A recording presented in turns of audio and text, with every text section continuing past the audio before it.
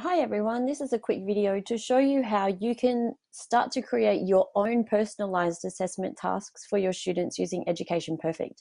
The first thing we need to do is jump into the content library, make sure you're in the subject you wish to create the assessment for, and make sure that you're switched across to edit mode. So most of the time you will open the content library and you'll be in browse mode. However, we want to make sure that we're in edit mode. What I'm going to do now is add some content and I'm going to add an exam. I'm going to give my exam a name. So I'm going to call this my quick DNA exam. Now I can choose to add questions straight away. I can add existing questions from the EP content library, but I'm just going to show you how you can nice and easily add your own questions.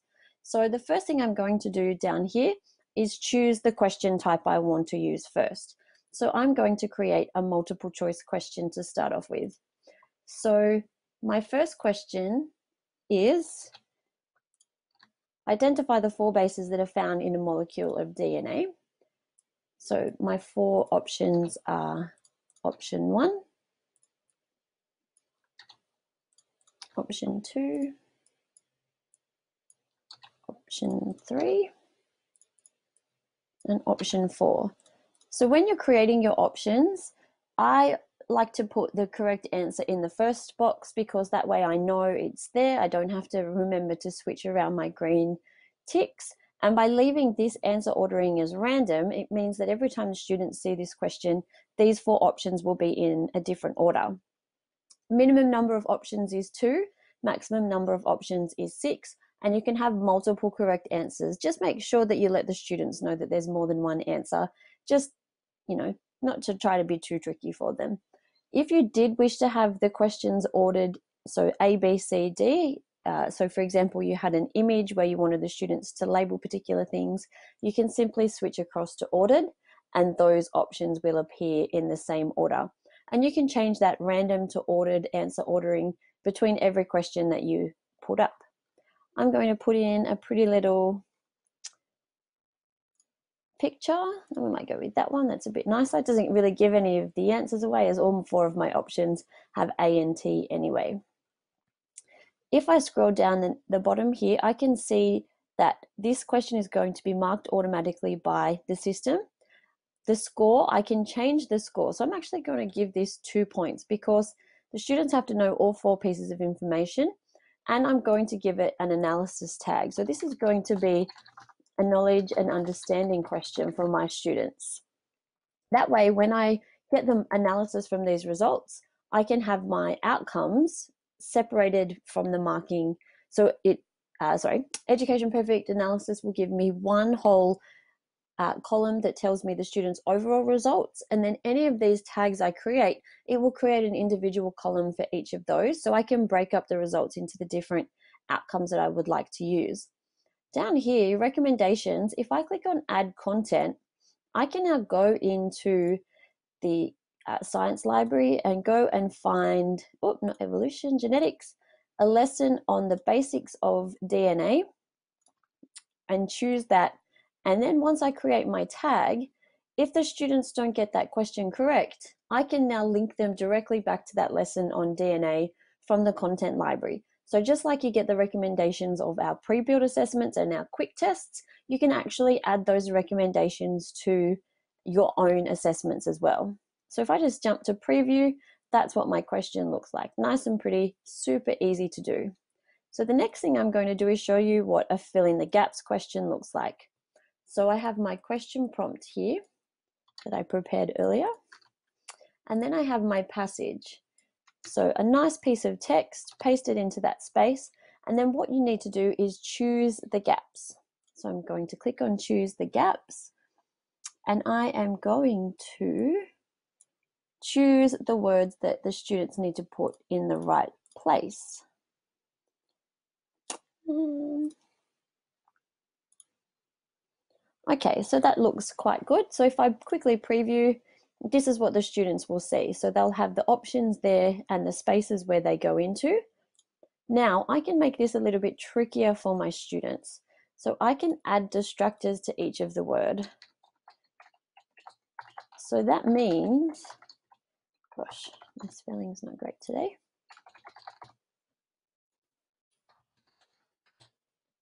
Etc. So I can add distractors to all of the words. And when I preview the question now, you'll see that there's a lot more options than spaces for the students to put their answers into. So now they have to really read the passage and the words carefully to make sure that they're putting the right words in the correct spaces. And now as well, one, two, three, four, five, six, seven, eight. I have eight spaces, so I'm going to make this question out of four. And what Education Perfect will do is then assign half a mark to each of these sections. So if the students only get four correct, they'll get two points. If they get three, they'll get two and a half, and so on. This time I'm going to add a different tag, problem solving.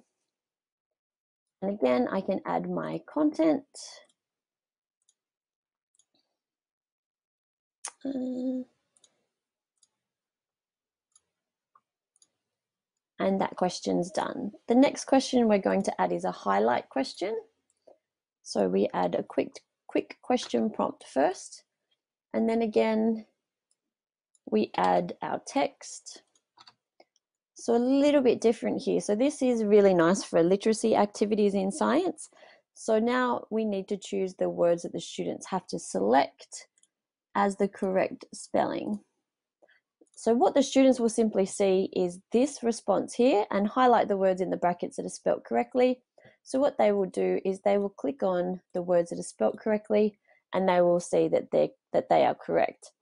Okay, it's nice just to put a space between the punctuation to make sure that uh, those questions that we don't get confused with uh, punctuation and things. But you will notice that I do have the the slash directly after genes. And here we're going to make this three. And again, this is a knowledge and understanding question. I can add an image, so I can upload an image, I can add a sound file, or I can add a video as well to these questions. The last of our automatically marked questions are our annotated questions. So what these allow you to do is turn a long piece of text into an activity for the students where they have to answer multiple questions within that text. So here we can see I've put a piece of text about nucleotides. So now what I'm going to do is select the word nucleotides and I'm going to give the students a question about nucleotides. I can, oh, so we make sure we can add more options as well. So just like our multiple choice, the students now have a multiple choice question within the passage. I can add a second one here. So here is my question and here are my options.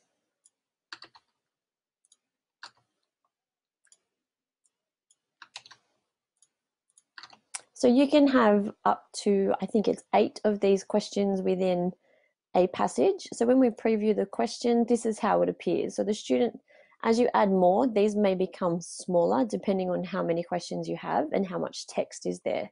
So the students can hover over and click on the highlighted sections to see the questions and they can answer all of the questions at the same time or they can answer them one at a time. So again, uh, you can set the, the marks to, sorry, they need to answer all of the questions at once and then submit. So here we'll set this to two marks and I'm going to create this one as problem solving. Next, we're going to add a manually marked question, so a long response question. So my long response question is going to be simply explain why the process of DNA replication is referred to as semi-conservative you can give the students a model answer here, or this can be where you put your marking criteria.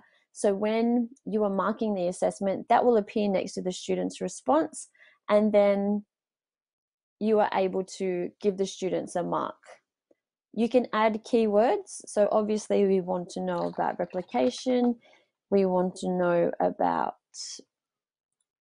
uh, enzymes. We want to know about base pairing. And again, we can give the students as many points as we like. and we can also add our.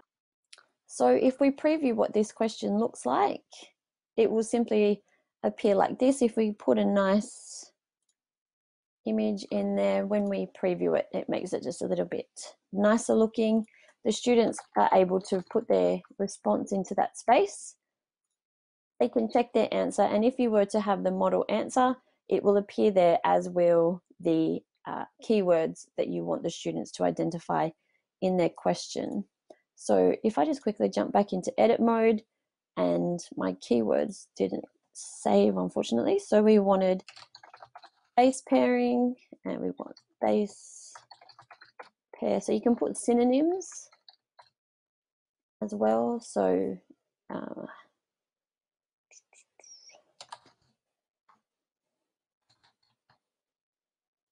okay.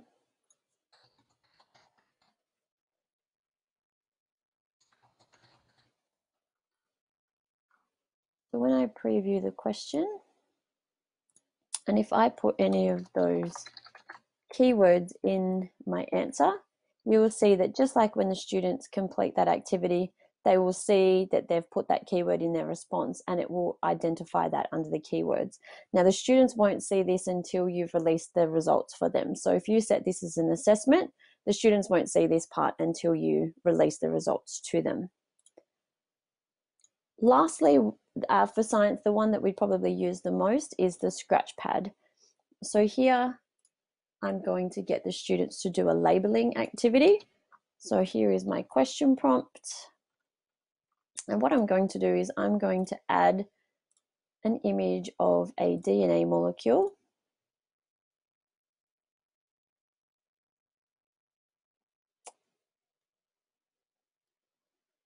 Come on. a little bit of waiting music. Wow, there we go. So I'm going to use this image. So what the students will see is they will see their instructions and they will see the image. And then what they can do is put on here, they can label with letters each of the different parts. Alternatively, you could give them a key or uh, you could create an image where these labels appear on either side of the image and they can simply use the line tool to draw lines between the different parts of their image. Again, we can give the students a different number of points. So this one, we might give them three because there's six things they need to label and I might create a skills tag for this one here. So once we've added all of our questions, we can rename the questions as well, just to, so we can keep a record nice and simply down the side of what questions we've already created in our task. We can copy questions and change them slightly. If we don't like a question anymore, we can remove it. Here gives us the option of also creating sections. So we could have multiple sections of the assessment and then we can ask all questions of this section or ask only two from this section and five from the next section and seven from the next section so that we are able to randomize the questions given to the students. But obviously, if we're just using this to create a nice formal assessment where we can ask all students the same questions, we possibly just uh, can create them all in the one section. Once we've done all of these things, we've got some settings up the top. So our options, we can reduce the amount of time. So this is just going to be a quick 20 minute task. If you want to hide the question names, the students will just see them as one, two, three. And if you have some calculator type questions, you can enable the basic calculator and the students will then see that appear on their assessment. The last thing we do is then save our exam.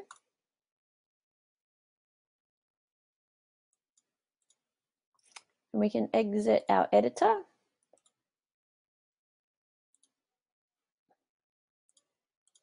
Maybe.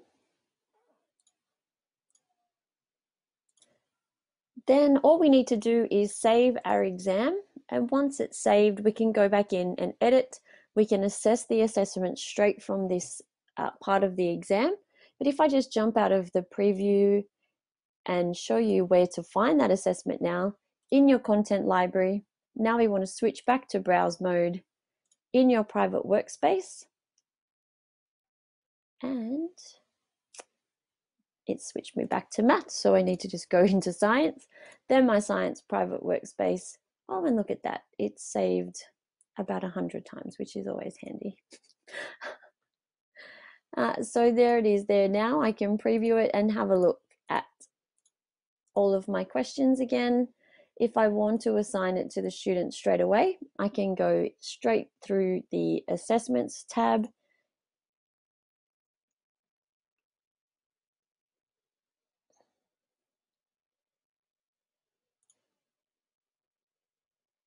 So I can set assessment and now I want to use a pre-built assessment because I've already created my own and it's now being built. So I select with the what, open up my content library, make sure I'm on the right subject in my private workspace and there is my quick DNA exam. Confirm the selection, then choose all your other correct options and then set your assessment and you're good to go. So I hope that video has been helpful.